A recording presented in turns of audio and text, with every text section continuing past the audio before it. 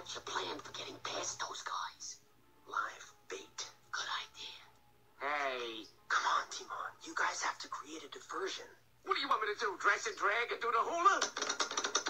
Wow! If you're hungry for a hunk of fat and juicy meat, eat my money over here because the end is green. Come a dollar dime, other Stacy's fine. All you have to do is get in line.